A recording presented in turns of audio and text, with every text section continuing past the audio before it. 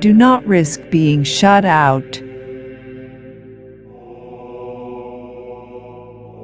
Inviting you to spend your five minutes and listening, meditating, and praying on the Word of God as you begin your day. Blessing and peace to you and all your family members. May the Lord Jesus bless you with love and peace. August 21st, 2022, Sunday, 21st, week of the ordinary time. Prepare your minds and hearts as you listen to the gospel.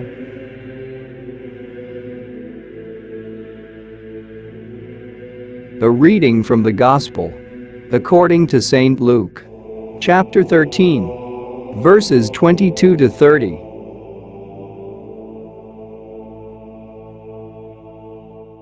He went on his way through towns and villages, teaching and journeying toward Jerusalem.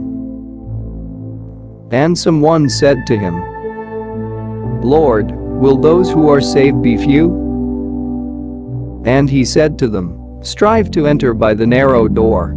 For many, I tell you, will seek to enter and will not be able. When once the householder has risen up and shut the door, you will begin to stand outside and to knock at the door, saying, Lord, open to us. He will answer you, I do not know where you come from. Then you will begin to say, We ate and drank in your presence, and you taught in our streets. But he will say, I tell you, I do not know where you come from. Depart from me, all you workers of iniquity. There you will weep and gnash your teeth when you see Abraham, and Isaac, and Jacob, and all the prophets in the kingdom of God and you yourselves thrust out. And men will come from east and west, and from north and south, and sit at table in the kingdom of God. And behold, some are last who will be first, and some are first who will be last. The Gospel of the Lord.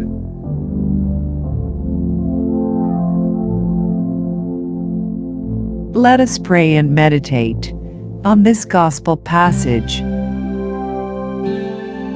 What does the image of a door say to us about the kingdom of God? Jesus' story about the door being shut to those who come too late suggests they had offended their host and deserved to be excluded. It was customary for teachers in Jesus' time to close the door on tardy students and not allow them back for a whole week in order to teach them a lesson in discipline and faithfulness. The Lord is with us to strengthen us in our trials and struggles. The Lord reminds us that when we face difficulties, trials, temptations, and even failures, we do not struggle alone. He knows our weaknesses, even better than we know them, and He is always ready to help us in our struggle to overcome sin and wrongdoing. God's grace is sufficient. Jesus assures us of complete victory? Do you trust in God's grace and help, especially in times of testing and temptation? Prayer Lord Jesus, may I never doubt your guiding presence and your tender love and mercy towards me. Through the gift of your Spirit, Fill me with persevering faith and courage. To trust you always, in all things, and in every circumstance I find myself in. May your love set my heart aflame with love for you who are my all.